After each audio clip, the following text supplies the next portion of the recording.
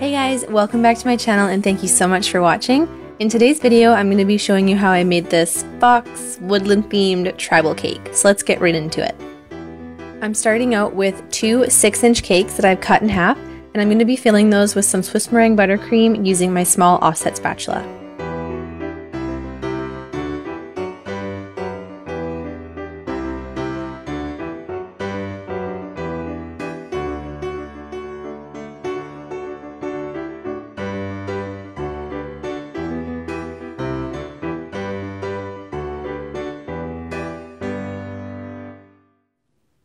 I'm making sure my buttercream is nice and level and once my cake is stacked up, I'm going to cover the entire outside with a thin layer of buttercream to act as my crumb coat to lock in all those crumbs, and then I'm going to pop that into the fridge for about 25 minutes to firm up.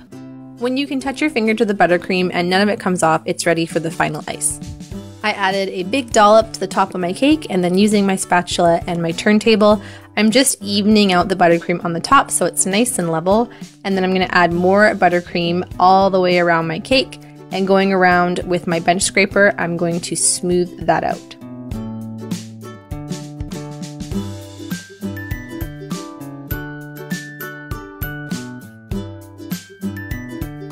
For all of the buttercream that accumulated on the edge of my cake, I'm just using my bench scraper. You could use your spatula to scrape that into the center, just being careful to keep it level so that I don't disturb the smoothness of my cake.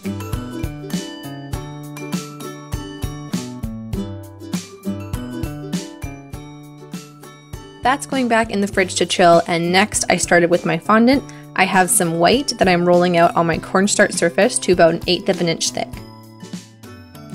I'm picking that up with my fondant roller and draping it over my chilled cake, and then quickly just using my hands and my fondant smoother, I'm pushing all the air out from the top of my cake, and then working my way down, just pulling out the skirt and smoothing it until I reach the bottom.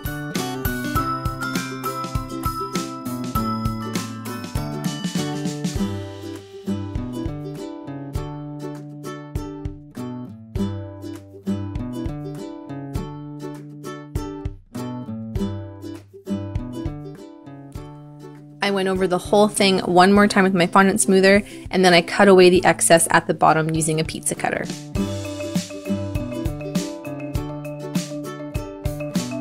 My cake is going to be two tiers, so I need some support. I'm using just regular straws for this because my cake is very small, but if it's any larger, I suggest using bubble tea straws, which are a lot bigger, or some wooden dowels. So I have four of them here and I'm inserting them evenly into the bottom layer. And then with my scissors, I'm just gonna snip those so that they are flush with the cake. I added a thin smear of buttercream, and then I have a little 4 inch tier that I buttercreamed and covered in fondant the exact same way I just showed you, and I'm going to pop that right on top. On to the decorating. I am rolling out some long, thin ropes of fondant for my birch tree top. I want them to be different, some thick, some thinner, and then I'm cutting them and I'm gonna line the top of my cake. I'm doing half at a time because I do need the fondant to be a little bit pliable, so I didn't want it to be too hard by the time I covered the whole thing.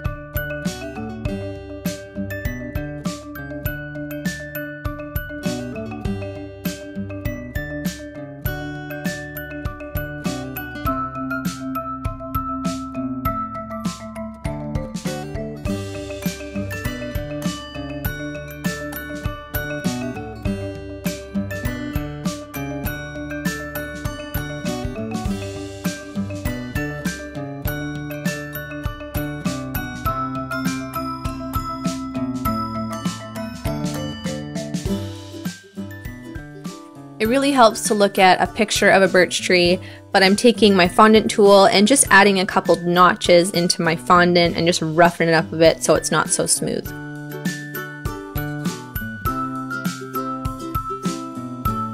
To add even more texture, I grabbed my X-Acto knife and just added a bunch of lines into each piece.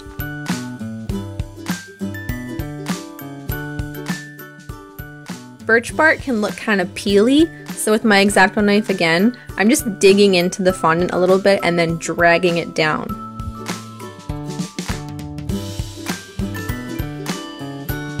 I have some black color dust here and a fine tip paintbrush and all I'm doing is just brushing that color in between each of my lugs.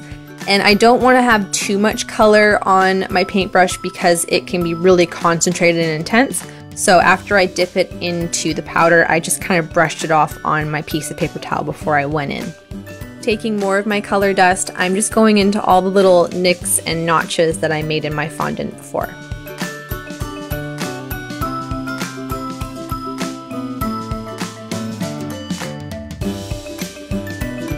So this is what it looked like after I was done shading it. You can see it's kind of like a faded look. So to make it a little more intense, I have some black food coloring gel with my paintbrush again, and I'm just adding in more lines and little splotches all over the place.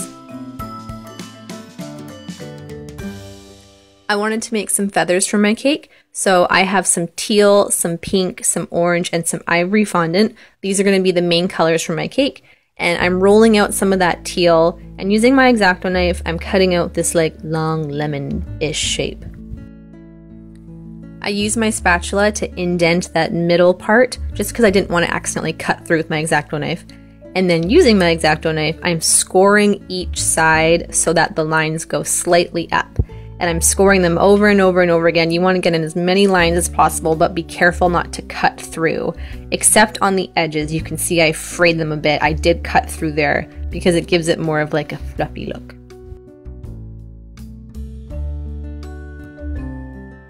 I cut out a bunch of different sizes out of all the colors I had, and then I set them aside to dry on a piece of saran wrap so they wouldn't dry completely flat. You could also use a piece of aluminum foil. To make my fox, I have some fondant that I dyed using some orange and a little bit of brown because you want it to be a bit of a darker color. And then I added a little bit of Tylose to my fondant as well. I'm tapering out the edges of my ball. Again, think kind of lemon shape. You want them to be pointed. And then I'm pressing it against my counter and drawing those points so they face down. I rolled out some white fondant pretty thin and then I draped that over my face.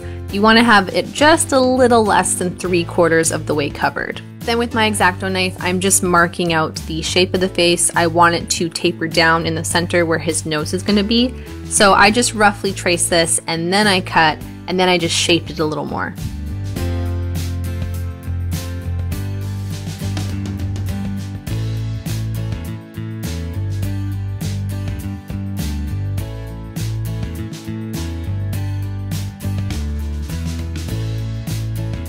Used my fingers just to smooth out the edges and then I had something that looked like this. I rolled out a larger oval for the nose and placed that right where the white tapered into a point, and then with two smaller ovals I added the eyes. I do apologize for my gross looking thumb. I had burned myself a long time ago and the skin's just healing and I got some red food coloring in there so it looks super gnarly, but I swear to god I'm clean. Using my X-Acto knife, I sketched out his cute little mouth, and then with two balls of pink fondant, I added like a little blush on his cheeks.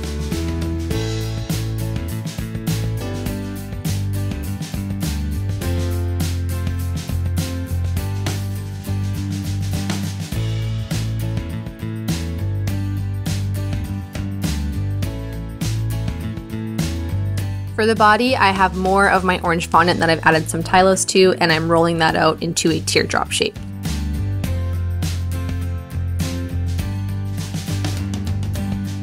I added that to the top of my cake and then inserted a wooden skewer just to give me some more support, making sure there was just enough poking through for me to attach the head. I popped that on there, just attaching it with a little bit of water.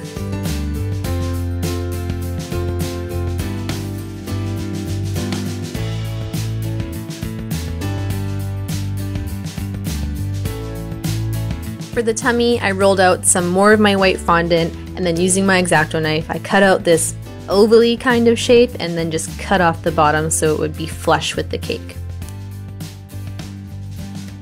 I rolled out two smaller balls of orange fondant and then using my fingers, I just shaped that into a triangle and with my X-Acto knife, I blunted the end and placed those on either side of his head for his ears.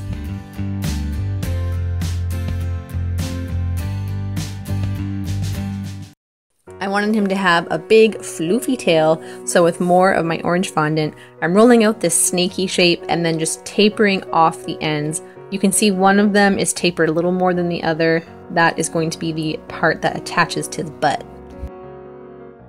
To give his tail a white tip, I wrapped a little piece of white fondant around the end and then just kept working that in my fingers until that seam disappeared. I pointed the end, and then with my X-Acto knife, I cut out couple of notches. Again, using some water, I just attached that to the front of his body, wrapping that thinner end around to the back of him.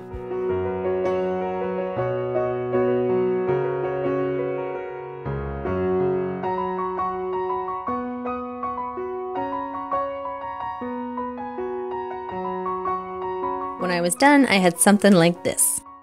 I decided to paint my ivory colored feathers gold, so I have some Rolkem Super Gold, which is my absolute favorite. I mixed it with a little bit of clear vanilla extract, and then I brushed that on and left it to dry.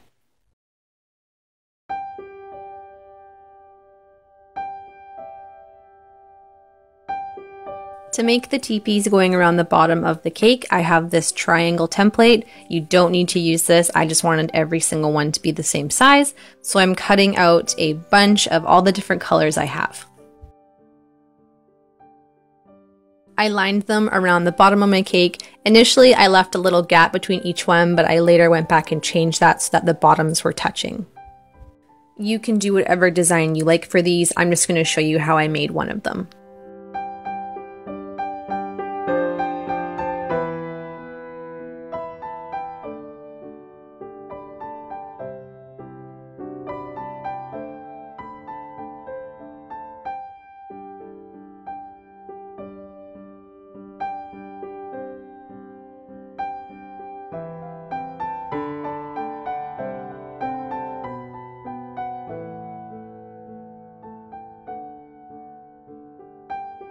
I just added different layers of the color. I put some texture in there. And then for the top, I made tiny versions of the feathers that I made before, as well as some little flowers.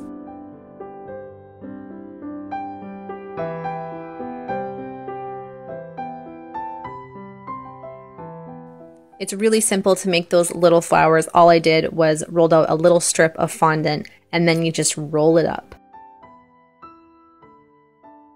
So this is what a few of them looked like when they were finished. To attach my feathers to the cake, I'm grabbing the larger ones and then just flipping them over and placing a wooden skewer on top. I'm grabbing another little strip of fondant in the same color and just placing it over top, attaching using some water.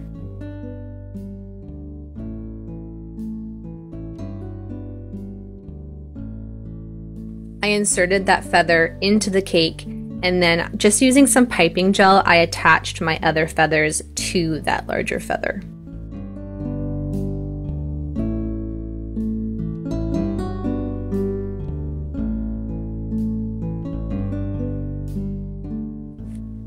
I added another bunch of feathers to the top right behind that fox in the exact same way.